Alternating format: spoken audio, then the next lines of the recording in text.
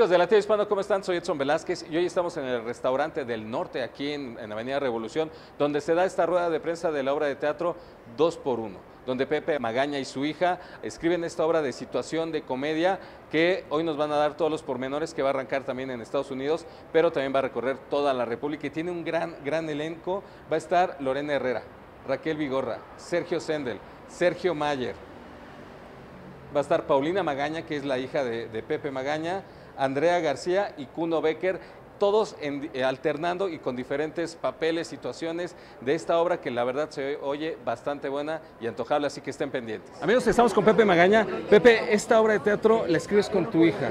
¿Qué Sí. tan emocionante fue este proceso? Eh, bueno, ya lo hemos hecho, esta es la, la segunda comedia que hacemos juntos.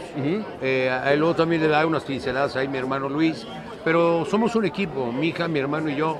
Ya lleva ocho años la Semecienta por Estados Unidos, toda la República, México. Fue la última, la última obra en el Teatro Blanquita, La Semecienta. Con esa se cerró y bueno, me siento muy halagado, bendecido por Dios y la Virgen de Guadalupe que mi hija esté conmigo porque pues es mi única hija, imagínate, es algo, yo la veo y ¿qué te puedo decir? Lo máximo. Es algo muy especial trabajar al- el 100% en, en lo que a ti te gusta en un tema eh, familiar. Claro, ahora te voy a decir una cosa, las exigencias, una cosa es que sea mi hija y mi hermano Luis, y, pero el momento de trabajar, cada quien, o sea, somos, ahí vamos a lo que es trabajar. ¿no? Hay cosas que no les parece de mí o algo que no me parezca de ellos, se comenta, se habla y se llega a un arreglo y se va por un lado, por el otro, o me entiendes, o sea, hay mucho respeto, pero lo que es trabajo, hay más respeto. Esta idea de este proyecto de 2 por 1 ¿cómo nace? ¿Cómo nace toda esta sinergia, todos estos enredos?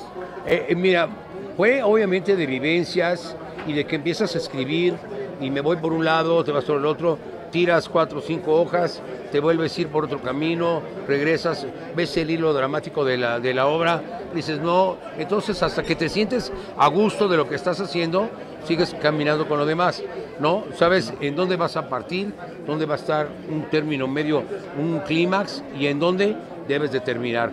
Y en medio de eso es donde yo voy haciendo todas mis tonterías.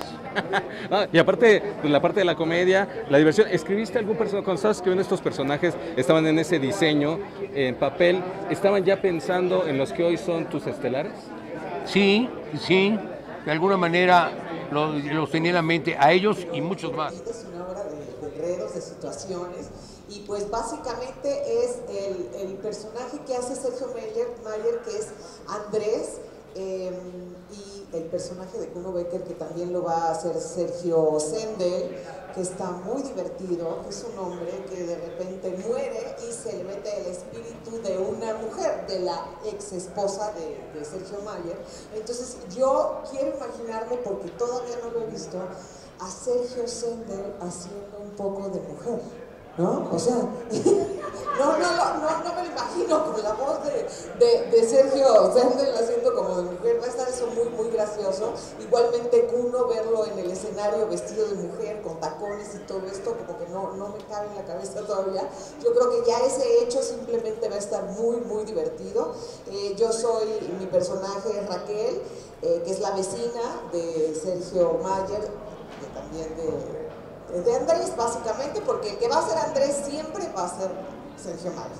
Todos los demás vamos a cambiar. Yo, mi personaje, que es Raquel, que es la vecina, también lo voy a alternar contigo, Michelle, Viet, y el personaje de Raquel Vigorra, que es la hermana de Sergio Mayer, él lo va a alternar eh, con Andrea García. Entonces vamos a ver dos actrices que vamos a alternar.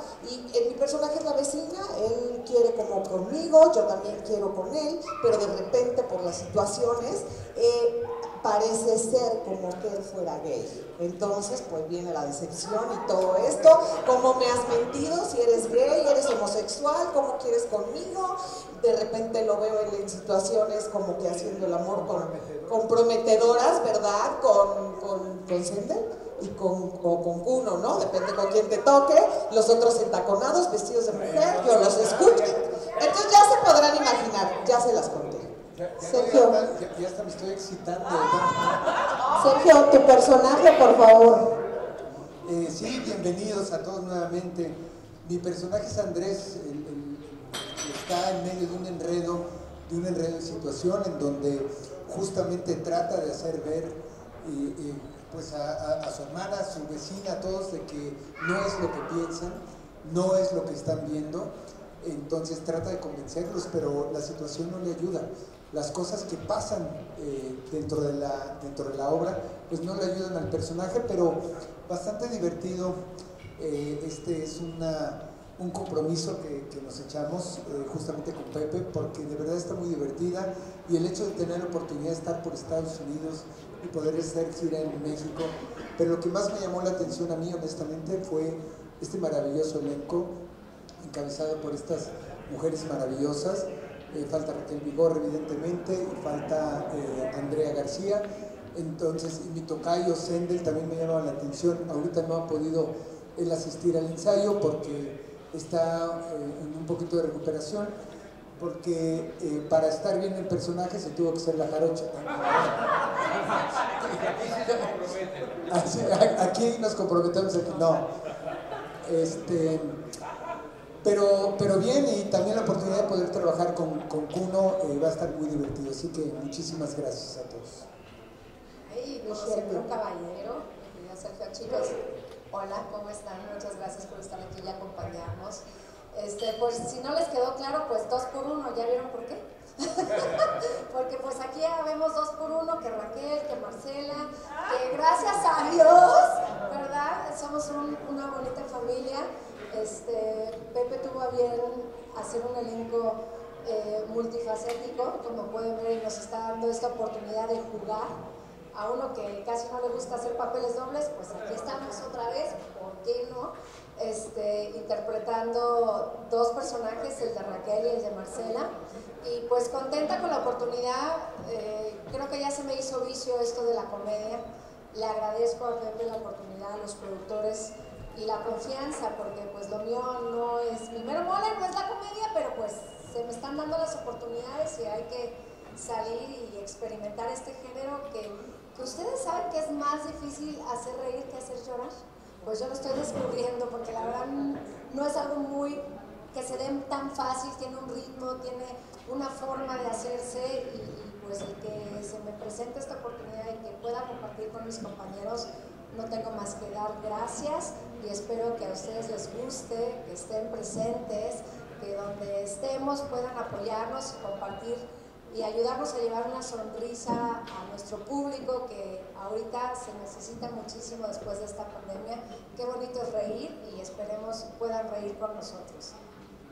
Exactamente, tienes toda la razón.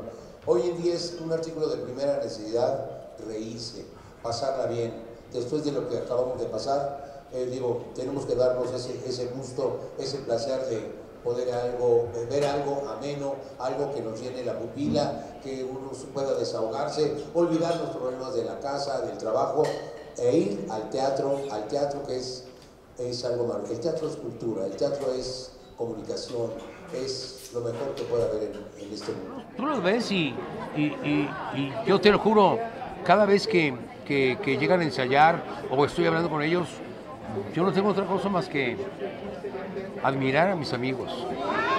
Siento una, una gran admiración por su trabajo y eso es muy importante. Exactamente lo que te voy a decir. Es importante tener ese reconocimiento, esa valía de cada uno, de la trayectoria de cada uno de ellos. Ahorita en la conferencia de prensa decían, oye, yo tengo que aprender de Pepe ese ritmo, esa comedia, porque no somos comediantes. Y tú los estás llevando y los estás sacando de esa zona de confort. Sí, mira, por ejemplo, mucha gente pensaba que yo le iba a decir a Mayer que hiciera la mujer, porque él tiene experiencia siendo gays.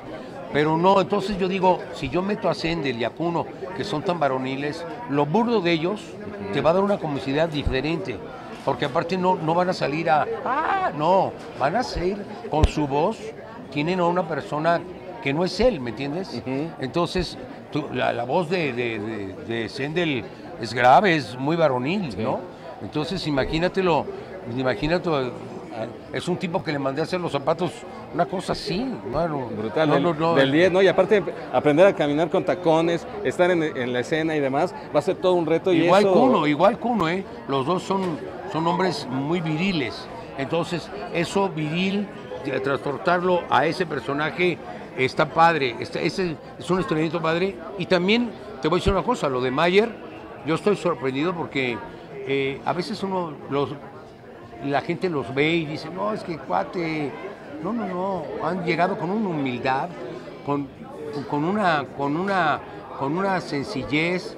Bueno, para decirte que, que el primer ensayo llegaron de memoria, no lo creo. Eso, eso no pasa. Habla mucho del compromiso, Eso, de- eso del no pasa. profesionalismo. Eso no pasa porque Lorena, Michelle, Raquel, Mayer, to- todos, uno me dice, le quiero cambiar esto, esto, o están de memoria. No están conmigo, pero están de memoria.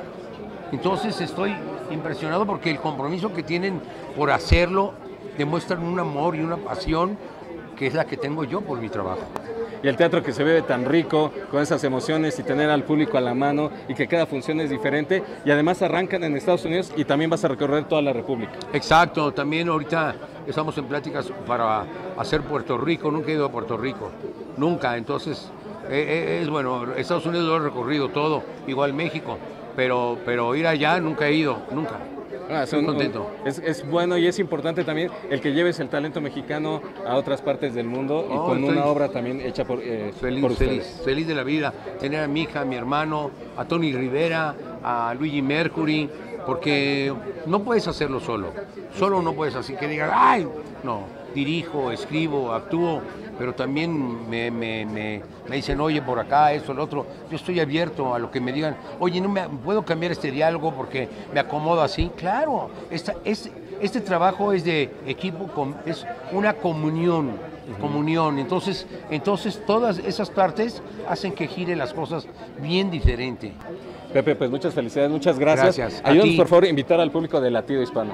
A toda la gente de Latino Hispano, les recuerda que tienen que estar pendientes. Miren, dos por uno. Cuando lleguemos a su ciudad o a su país, vayan inmediatamente porque la van a pasar poca madre. Perfecto, gracias señores, seguimos en Latido Gracias. Hispano. Gracias Pepe. Gracias.